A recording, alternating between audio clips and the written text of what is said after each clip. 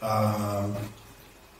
προσωπικά ναι, θα σας έλεγα ότι ε, είχα εμπειρία. Ήμουνα ε, ένα παιδί της επαρχίας, ε, όντως αθλητής στην Εθνική Ανδρών, 19 χρονών και είχαμε μια μάζοξη στην Αθήνα. Μπαίνοντας στα αποδητήρια της ομάδας, οι παλιοί παίκτες τότε της Εθνικής Ανδρών με, με, με βάλαν σε άλλο αποδητήριο σε σχέση με αυτό που ήταν οι ίδιοι.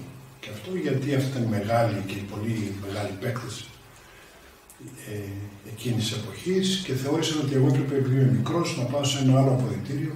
Ήταν ένα, μια έτσι ε, ψυχολογική κακοποίηση την οποία δέχτηκα. Αλλά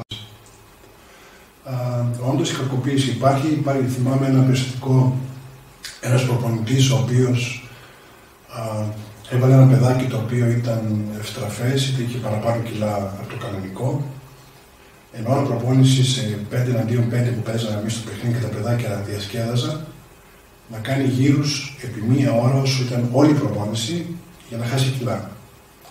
Ήταν, ναι, ήταν παίκτες, ήταν τέσσερις παίκτες μεγάλης ηλικίας και πολύ μεγάλα ονόματα. Α, δεν έχει σημασία τα ονόματα.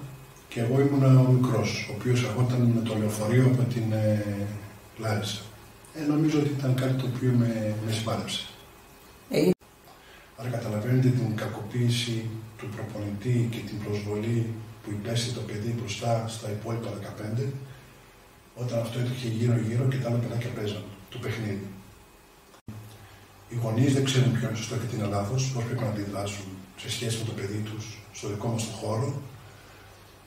Οι προπονητές νομίζω ότι δεν έχουν κάποιον πάνω τους επικεφαλής ενεργούν αυτόνομα με τη δικιά τους εμπειρία και βεβαίως βέβαια στα παιδιά, τα οποία είναι παιδιά-παιδιά και δεν, δεν ξέρουν ποιο είναι το σωστό και ποιο είναι το λάθος. Άρα, ε, νομίζω ναι, νομίζω ότι καταρχήν πρέπει τα παιδιά να ξέρουν, πρέπει να μάθουν να μιλάνε. Πρέπει να μιλάνε πρώτα στους γονείς τους, μετά στους προπονητές τους και να αναφέρουν τα πραγματικά γεγονότα. Νομίζω ότι πολλά παιδιά ε, κρατάνε πράγματα για τον εαυτό τους, κλείνοντας τον εαυτό τους και αυτό είναι που δημιουργεί πολύ σοβαρά προβλήματα. Όχι, δεν το, δεν το ανέφερα σε κανένα, δεν υπήρξε προπονητής μπροστά, είναι αλήθεια. Δεν το ανέφερα. Ε, το κράτησα στον εαυτό μου και νομίζω ήταν και το μοναδικό γιατί την επόμενη φορά δεν συνέβη, ήταν μια, μια και μοναδική φορά. Και δεν, δεν ενημέρωσα κανέναν, ούτε τους γονείς μου, αλλά ούτε και τους προπονητές μου. Βεβαίως πρέπει να δημιουργηθούν και ενδεχομένως κάποιοι φορείς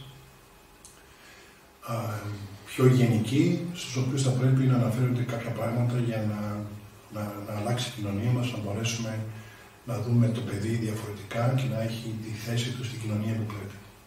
Σαφέστατα, σαφέστατα μεγάλη μεταμόρφωση. Νομίζω ότι πρέπει να γίνουν σεμινάρια, πρέπει να γίνονται μόνο προπονητικά σεμινάρια, αλλά και σεμινάρια διαπαιδαγώγησης στους γονείς, στα παιδιά, στους προπονητές, από ανθρώπους οι οποίοι έχουν βιώσει πράγματα, από ανθρώπους που μπορούν πραγματικά να τους μιλήσουν με γεγονότα για να μπορέσουν να βοηθήσουν όλους αυτούς, όπως επίσης και θα έλεγα η Ομοσπονδία, η Πολιτεία θα έπρεπε να πάρει πολύ σοβαρά μέτρα για το πώς θα πρέπει να βοηθήσει αυτό το κομμάτι το οποίο είναι για μένα πάρα πολύ σημαντικό.